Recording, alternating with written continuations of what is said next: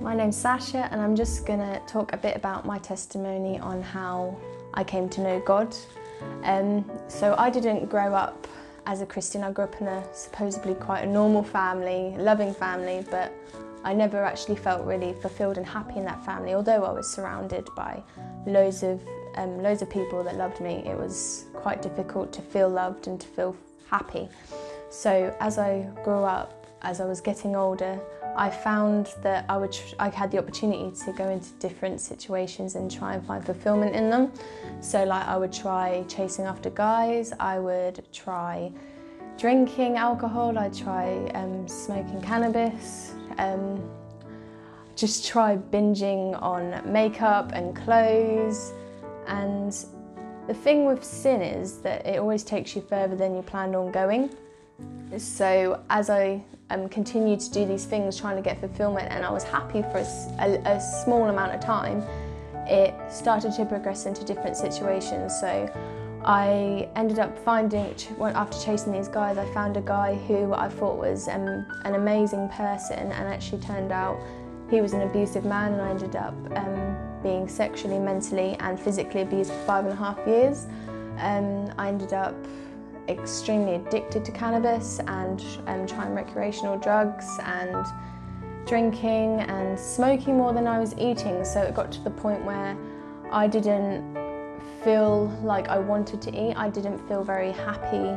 I got more and more depressed and towards the end of my abusive relationship I ended up on a very high amount of antidepressants because I was just so down. Um, I was still addicted to smoking and um, ended up severely anorexic. So it was just a really bad place that I was in where I didn't know my own self-worth anymore because I was made to believe that I wasn't worth anything. And so this left me in a very, very broken place. And I ended up, um, uh, the last time that my uh, uh, boyfriend at the time abused me, I was actually holding my son and it was just a bad situation to be in. I then left that situation, um, but at this point again I was still very, very broken. And so three months later I was actually um, invited to a church service. I wasn't wanting to go to the church service because it was church. I was going just because my mum was there at the time and it was Mother's Day and I thought, oh okay, I'll go for her and then I'll go again and just carry on with my broken, messed up life.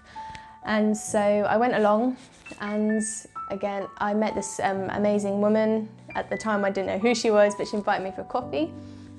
I went for a coffee with her the next day and um, she was talking to my mum who was also there and she was saying about Wednesday, the Wednesday service and I was like, oh, okay. Um, so that sounds interesting, but didn't think much of it. And then it got to Wednesday and it hit me that it reminded me that it was something that I could do and I was drawn to go back and then I heard a the service was about hurt people hurt people the preacher was preaching about hurt people hurt people and that really spoke to me and Holy Spirit really come down on me and really moved me and it got me to a place where I actually bent on my knees and I prayed to God to change my life and I gave him that opportunity too and I've never looked back. Three and a half years later, my life has completely changed. Like, I'm not bitter towards men anymore.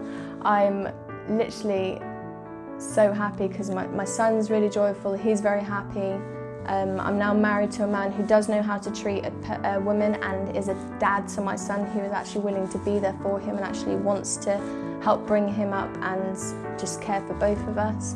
Um, I'm not severely underweight anymore, I'm healthy, I'm uh, not smoking anymore, I'm not addicted to any sort of drugs an anymore.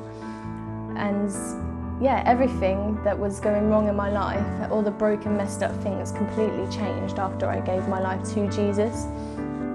And ever since then, like, I've realised just how great life can actually be because the, the thing is, back then I, when I was younger, I was trying to find fulfillment in all these different things and it was so messed up because the truth was the only thing I really needed fulfilling in my heart was having God in my life, that having that relationship with Jesus.